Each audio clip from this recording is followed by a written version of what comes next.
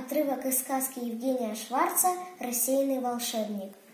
Жил-был на свете один ученый, настоящий добрый волшебник, по имени Иван Иванович Сидоров. И был он такой прекрасный инженер, что легко и быстро строил машины.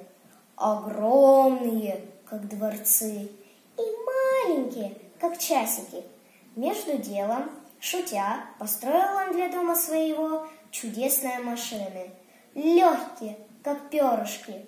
И эти самые машинки у него и пол мели, и мух выгоняли, и писали под диктовку, и мололи кофе, и в домино играли.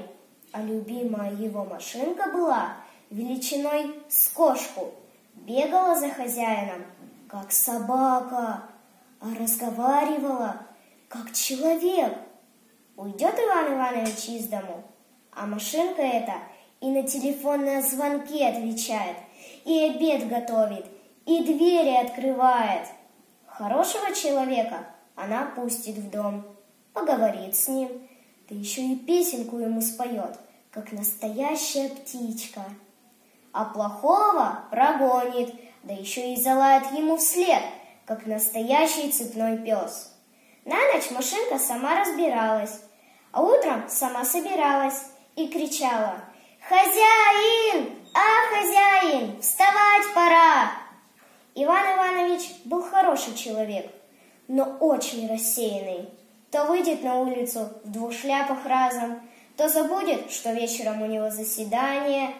И машинка ему тут очень помогала.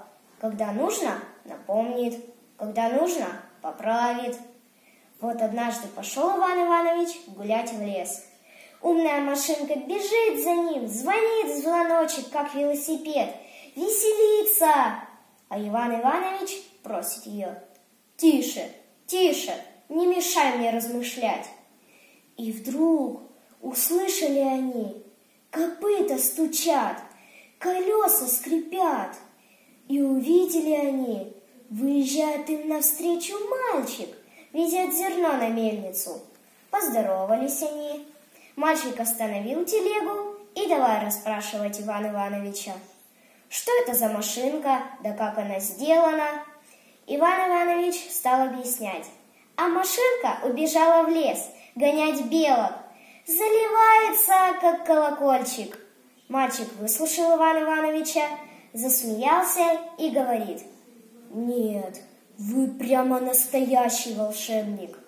Да, вроде этого, отвечает Иван Иванович.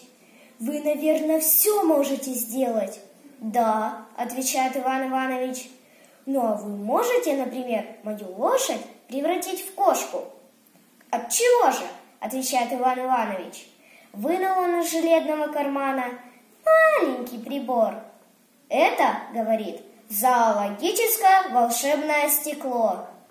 Раз, два, три. И направил он уменьшительное волшебное стекло на лошадь.